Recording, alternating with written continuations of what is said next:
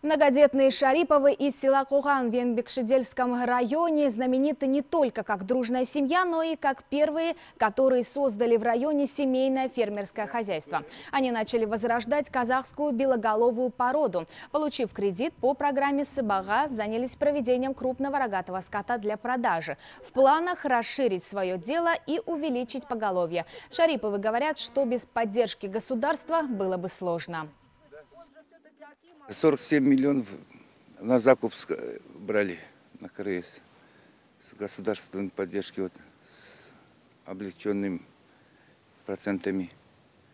Каждым годом вот, сейчас субсидий получили сейчас с государства. Вот, спасибо правительству таким э, за поддержку. Вот, поднятие животноводства. Вот Хотим вот следующего года на молочный переходить. Сейчас мы базу строим, одну базу вот на 200 голов. Воду туда проводим. С каждым годом строим по одной, по две базы вот так.